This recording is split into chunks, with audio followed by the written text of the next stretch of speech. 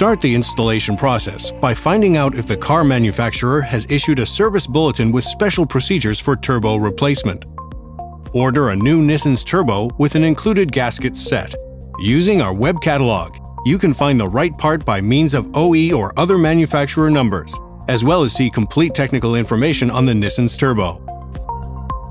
Order other parts needed for the installation. Oil feed and drain lines for the turbo. Engine oil filter, engine oil, intake air filter, hose clamps, seals, and O-rings, and if necessary, intercooler, crankcase ventilation, EGR valve, and charge air hoses and pipes.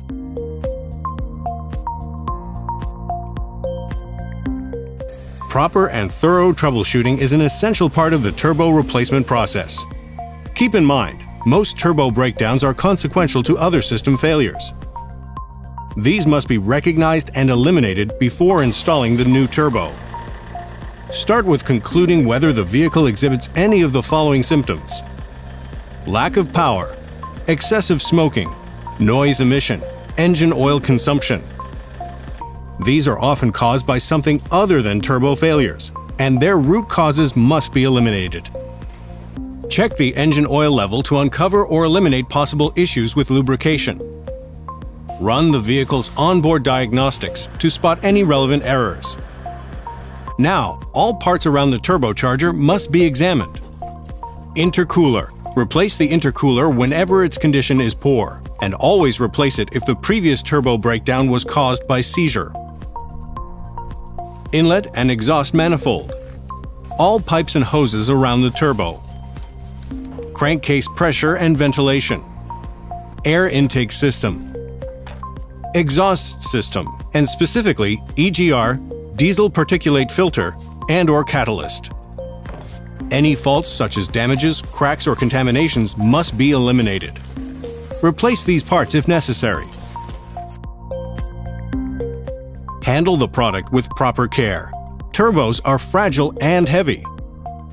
Never grab the turbo by the actuator, rods, or the hoses. Never change any settings or calibration on the actuator's rod. Nissens turbos are first fit products. You will always find the most important installation parts inside the product box. Disconnect and dismount the old turbo from the vehicle. Remove old worn gaskets. Thoroughly clean surfaces of the flanges before fitting the new seals. When installing a Nissens turbo, it is required to replace the oil filter, the intake air filter, and to fill the engine with fresh, new oil. Now you can fit the new turbo on the vehicle.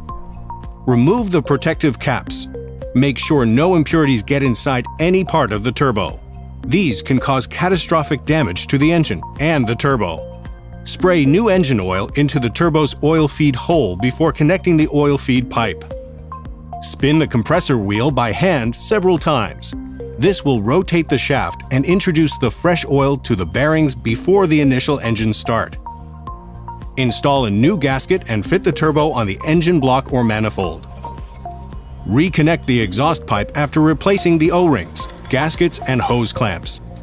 Ensure the correct gaskets are used. Align the gaskets properly.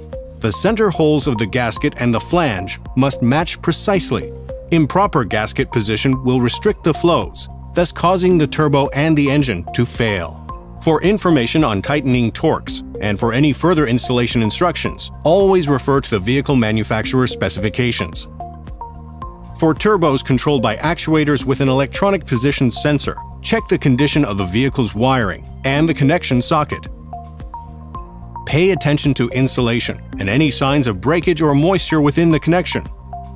If any issue is found, the connection or wiring must be replaced. Plug in carefully the connection stick. Lubrication is crucial for the turbocharger's operation. Proper connection of the oil channels is therefore critically important. We highly recommend installing new oil feed and oil drain lines. If the lines are to be reused, they must be thoroughly cleaned to be free of any inner restrictions, as well as have no bends or abrasions. Remember to mount the heat protective shields if they were originally applied. These prevent the oil lines from oil coking, and thus carbonizing if the line is placed too close to an excessive heat source. Install the air inlet and outlet to the turbo compressor housing. Make sure that the connection is leak-proof. If possible, perform a pressure test on the system by means of a leak detector kit. Start the engine and let it idle for about 3 minutes. Inspect for any air, exhaust gas, or oil leakages. If any are spotted, they must be fixed immediately. Examine the back pressure in the exhaust.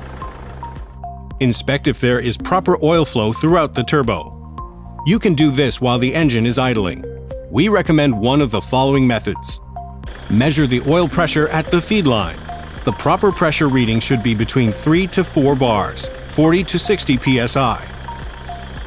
Alternatively, check the oil flow throughout the turbo when the drain line is disconnected. Stop the engine. Inspect the system for the correct oil level. Connect the OBD testing equipment once again and reset the previous faults.